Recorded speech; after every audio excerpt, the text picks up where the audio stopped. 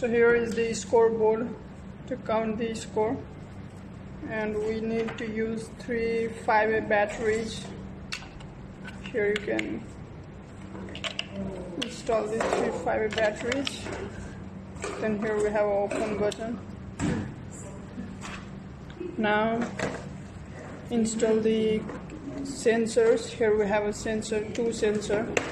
As this board is dual shot, dual shot machine, that's why we have two sensors. Here we have a sensor pointer.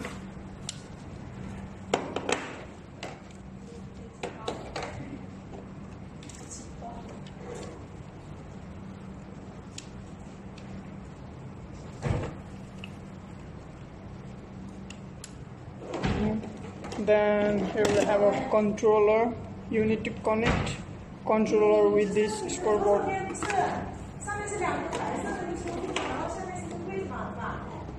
Here you can connect this scoreboard. Now you can open the scoreboard by pressing here. We have a on and off button on this control controller. So now it's on.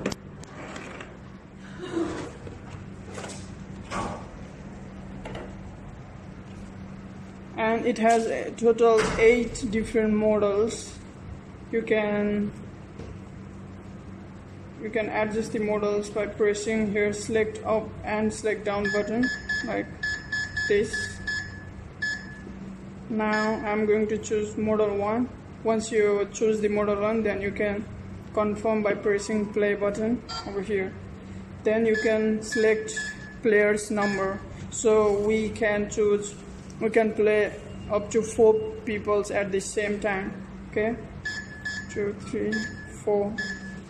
Now you select the once you select the player then you can confirm by um, pressing the play button over here. And then we can choose the three time option 30 second 45 second and 60 second based on how long you want to play the game okay so now i'm going to uh, select the 30 second right now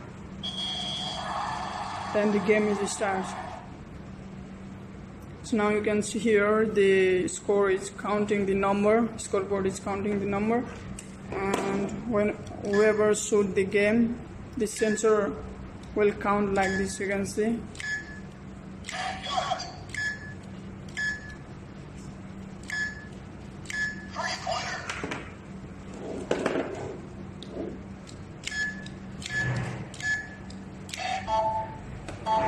And time is going up. So the player 2 won the game by scoring 18 numbers. You see there.